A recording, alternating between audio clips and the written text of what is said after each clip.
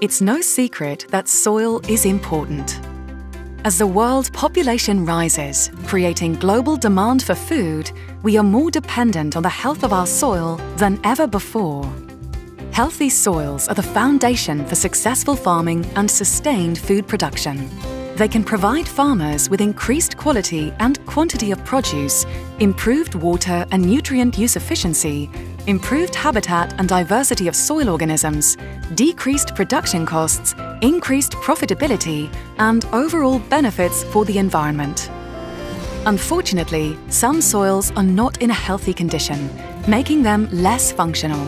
These soils are deficient in beneficial organisms and may be abundant in damaging ones.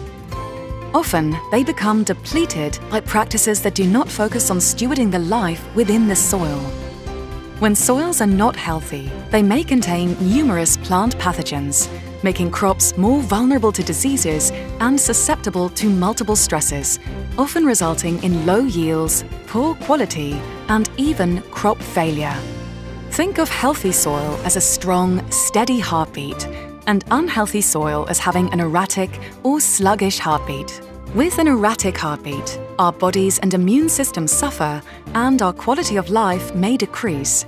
The same goes for soil. Unhealthy soil can still grow crops, but the yield and quality may be lower, and it may be more expensive and less sustainable.